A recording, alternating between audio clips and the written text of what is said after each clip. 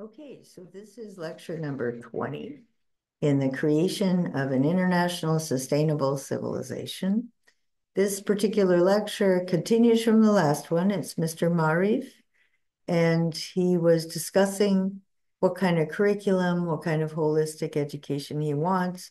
I connected that to systems thinking.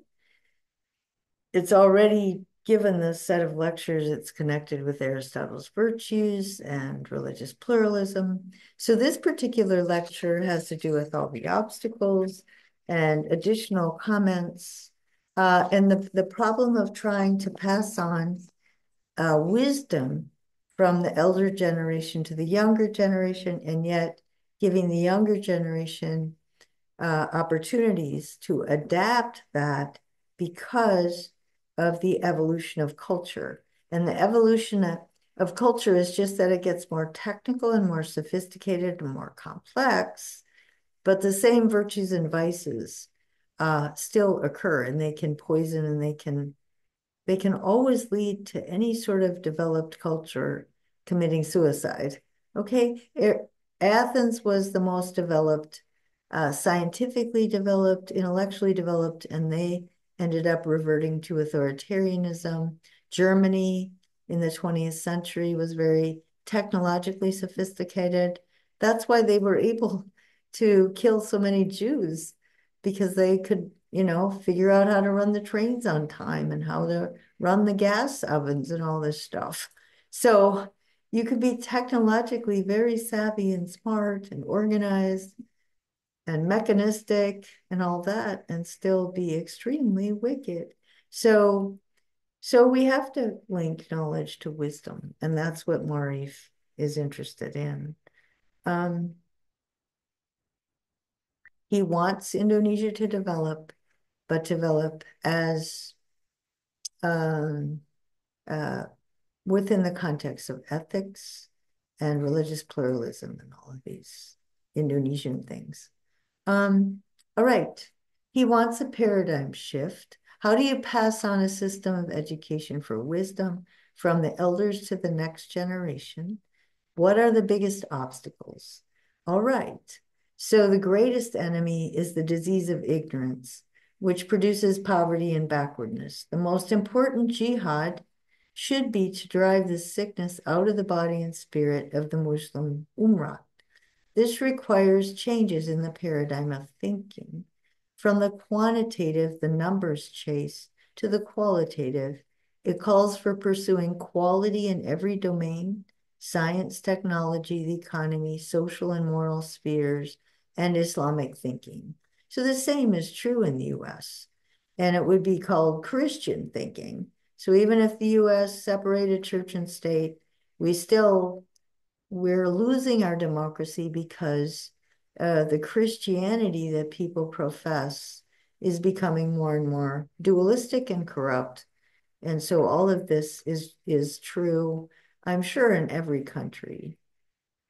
We need to cultivate deep self awareness to continually criticize ourselves plainly and objectively so we can enter a new era free from the false pride that has afflicted the Muslim Ummah over the years. Every point Maarif makes was also true of the Athenians. Socrates was always exposing their false pride and ignorance. These personal and social diseases are also very prevalent in the United States, and I'm sure throughout the world. They prevent us from dealing with the destruction of the natural world and with each other. Um, how do you pass on wisdom? Maarif is looking for serious young students who will study ancient Islam and apply it to current affairs. Quote, Indonesia longs for the appearance of serious young thinkers who are highly committed to remaining in the Indonesian milieu. The greatest challenge faced by Islamic studies is located in particular in the inadequate numbers of truly professional lecturers, that is, those who are equally well grounded in the classical Islamic literature and in the modern world, and who then deal with both of these intelligently and critically. And um, Maarif has no interest in maintaining control over the next generation. He just wants to guide them. He wants he wants them to know things that he doesn't know. He wants them to synthesize Islam in a new way because he wants to preserve Indonesian well-being, economic development, and also their um, religious pluralism and humanism.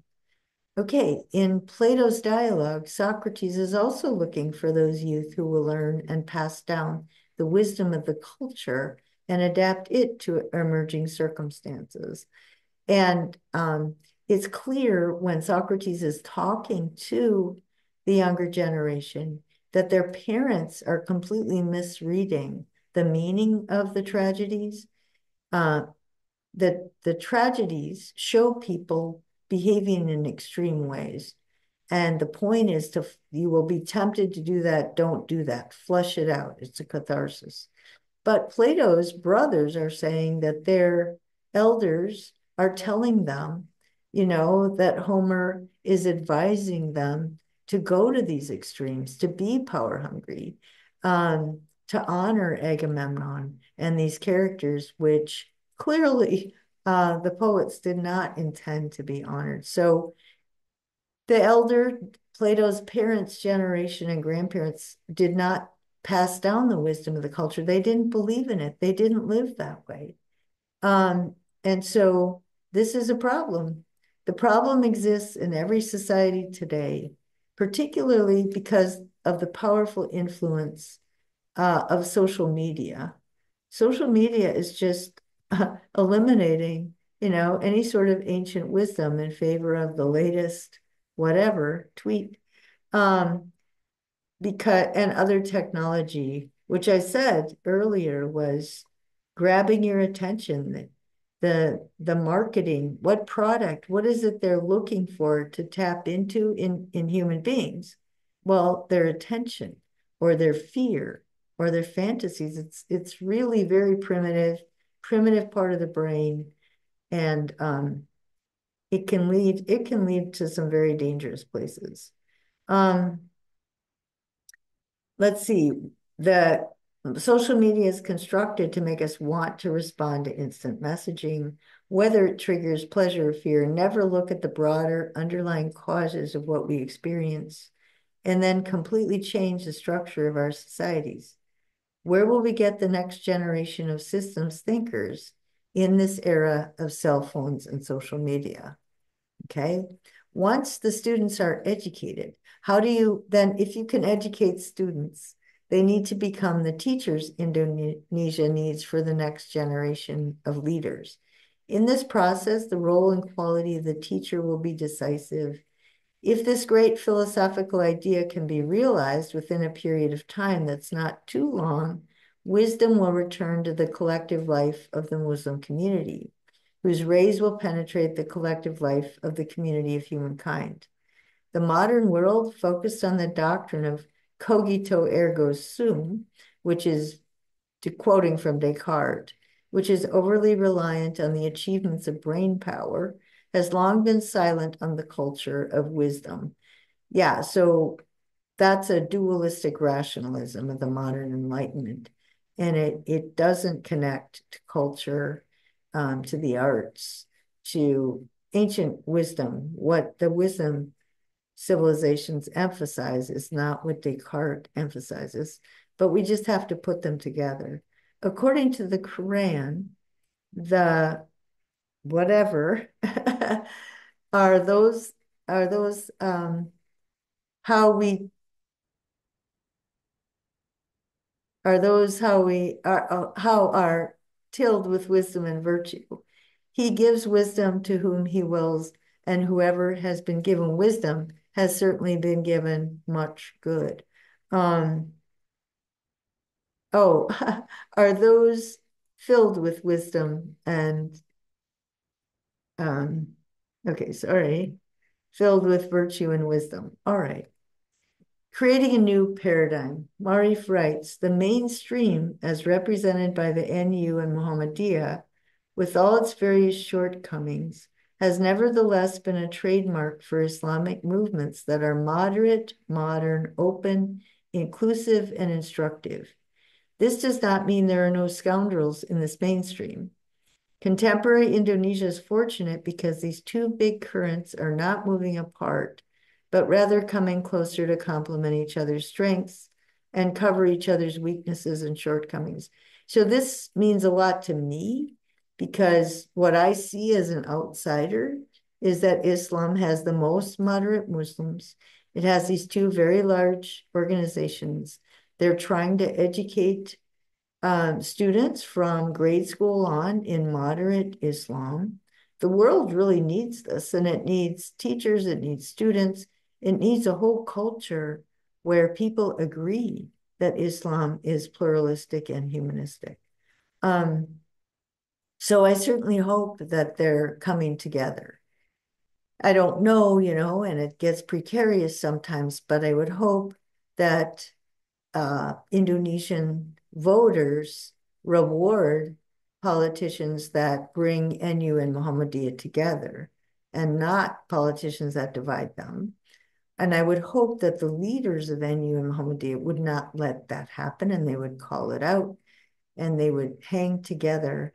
No matter how much they might disagree, they will emphasize their common ground, just like at the UN. I know that is that Indonesia is a great supporter of the UN.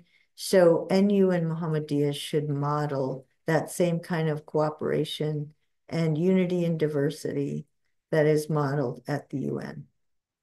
As to the young intellectuals of the NU and Muhammadiyah, I hope they devote their innovative and creative thinking to an Indonesian Islam in the post-Muhammadiyah and post-NU paradigm you know, he wants to bring them together in the next generation. I've often been in dialogue with and associated with young people in this mainstream. My conclusion is that they have a very open attitude, quite different from the elder generations. We have to understand that Muhammadiyah and NU are not religions, but rather movements to achieve the aims of Islam, which include the entire dimension of human existence and to uphold justice, brotherhood, and community in pluralistic Indonesian society. So when the UN, when the Ethics in Action Working Group got together, they had different Muslim scholars and they picked a Sufi, a chaplain, a liberal arts, and then a highly respected scholar, just a more uh, exclusively academic. But they knew, you know, those people said there's many diverse voices. But even then, you know, they wouldn't say, oh, yeah, in Indonesia, there's NU and Muhammadiyah, and that's another diverse voice in Islam. So, you know, we get myopic, we get um, really sort of preoccupied, or the only thing we know is what we're familiar with. And you have to step back and just kind of laugh about how seriously you might take things that really the rest of the world thinks is pretty insignificant. Um, in in Arkansas, in Arkansas alone, there I don't know if you know about the Baptist denomination. It's anti-intellectual. It tends to be um, very fundamentalist. There are actually 47 branches of Baptists in the state of Arkansas alone. And each one of them the preacher thinks he knows everything about everything, right? About salvation and damnation and the meaning of life and the meaning of history and human nature. And all this. Obviously, they don't. They don't know anything. And yet, people are willing to divide in 47 pieces uh, within one denomination. There's probably at least 47 denominations or 47 religious traditions within the state of Arkansas. Um, I've had Baha'i, Mormons, Dudists, Satanists, pagans, neo-pagans, Wiccans. I mean, you name it. But um, in the past, you know, America's been that tolerant place. And now it's becoming less and less tolerant. You have to be Baptist, you have to be Southern Baptist, you have to be white Southern. I mean, it just is getting narrow and narrow, and this is really a problem it's undermining democracy, it's creating instability. So it's so important that Indonesians, that the NU and the Muhammadiyah come together, that the middle-aged and elder generation encourage the younger generation. They find a way to set up a curriculum that will bring these two groups together, and then they can lead in um, deciding, you know, arguing for one politician over another, even if they disagree. They should disagree on very respectful grounds and not let those disagreements divide them. They shouldn't let NU and Muhammadiyah become tribe tribal or become associated with any one political party. They should hold all the leaders and all the parties accountable to a common standard of the, the common good. Okay, he has faith in the next generation. He's not a bitter old man. The potential within the NU and Muhammadiyah for guarding the integrity of the Indonesian nation is really extraordinary. I agree with that. And also the potential for all of these people to guard the integrity of religious pluralism and ancient humanism is also extraordinary. That the older leadership occasionally feels uncomfortable with the doings of the, these youth is nothing strange. After all, every progressive intellectual breakthrough is sure to create shock and possi possibly even suspicion, provided the ideas being offered stand on a sufficiently strong religious and rational foundation, however, the old order will quietly go along. We generally see this occurring because of the general generation gap in reading, information, and the scope of social intercourse. Young people are perhaps more ravenous and devouring new and fresh reading material, while the old cling to the treasury of classics, whose relevance to new developments is uncertain. So I would add that I don't know if the Pontifical Academy has master's and PhD programs, but there must be institutions, educational institutions in this world that have a curriculum related to what what was being um, agreed upon at that at that conference. And so, you know, for me, if I were, I think, an Indonesian elder, I would try to find um, training that these, the next generation of Indonesian Muslims could get educated, get masters and PhDs in this, the kind of systems, virtue ethics, egalitarian, the, the kind of learning, the kind of writing, the kind of scholarship, the kind of examination of religious texts and history that um, brings everybody together. That would be, they could really not only lead Indonesia, well, they could lead Indonesia and prevent any sort of religious divisions. They could also lead the world in showing how all of these things fit together. I hope this generation of intellectuals does not just busy itself with discourse and speeches while leaving the Indonesian nation to become increasingly fragile. Some of the intellectuals must enter into the power system with far-reaching intentions to establish justice and to oppose all forms of tyranny against anyone without partiality. Plato also set up his academy to educate future leaders they were not, most his students were not mostly going to sit and and ponder with each other what Plato said or what he meant or parsing his dialogues the way that modern scholars do. Plato said the written word is not important. It's the spoken word, the word that you have in your psyche that you've internalized, the, the word that is who you are. So my constant commentaries on my writing here probably reveals more about my character or um, about how one should live one's life than the actual writing. I hope the writing is helpful, but um, Plato, that there's this huge difference between what you get rewarded for and paid for as a Plato scholar and what Plato's dialogues actually ask you to do. And he wanted to teach future leaders and he wanted to show them how they could preserve the a free and open society and how they could destroy it, no matter what their position in society is.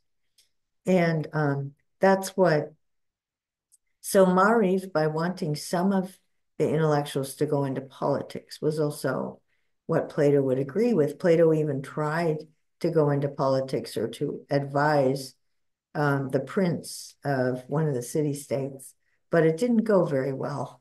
And he sort of escaped with his life. But at least, you know, the story shows that he did care about um, getting politics correct. Having philosophical rulers, right? Uniting philosophy and politics. So passing on the cultural legacy to the next generation and preserving a free society. Maarif's concerns are the concerns of any elder citizen, no matter what their positions were or how much power or influence they had. We should all keep reminding ourselves and each other that what we value most is the same the preservation of what is best in our societies, the desire to work with others to create a global sustainable community based on cooperation. This will prevent us from using religion as a weapon to judge others or to be threatened by others. Uh, as college educated citizens, especially in higher education, this is our greatest responsibility. And um, yeah, we have these organizations, we have the UN, we have a lot of opportunities to actually make good on this. So, um, so I'm just presenting one version of the philosophy, but because there's so many branches that that really belong to the trunk, there's just many parts of the trunk of the tree. The branches aren't really as much different as you would think. They appear different, but actually they're this they're different ways of saying the same thing. They're all aimed for the same goal. Um, it's just we have to coordinate, we have to develop uh, master's and PhD programs that will focus on this sort of worldview. Um, and we have to do enough of them so that there is this um, synchronicity, so that there's uh, coming together and people will be able to have meaningful dialogues without being the outsider, without constantly being um, marginalized, ignored, having to fight for a voice. Oh, so I've, I've, I cannot find anybody in Plato or Aristotle that actually thinks about it the way I do. I doesn't mean they aren't there. It's just it means that there's few enough so we can't seem to get together and develop enough of a culture that we could actually make a difference. So just like Maarif, like Maarif was 70, 71. I think 70 when he wrote the book. Like I'm 71. And Maarif did have a lot more respect and more power and more.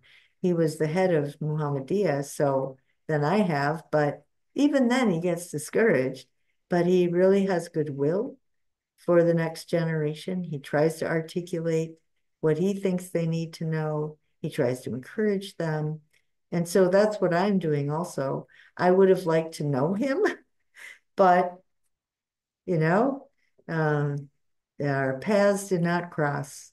I'm hoping um, he died when he was 71. Now, because I live in this developed country and I've kept my health up, I hope, you know, I can have another 10 or 20 years and maybe I can connect to people and um, create a, a culture a whole network that then will last past me. I won't just die, which, you know, everybody dies, but it would be nice to, um, you know, for someone to take the insights, whatever insights I've managed to to gain over a lifetime and and pass and articulate them in their own way and then pass them on to the next generation. I have grandchildren that will go to college in three years, I think. So it's getting to be this overlapping the generations, which is fascinating. I, I really like thinking about those things.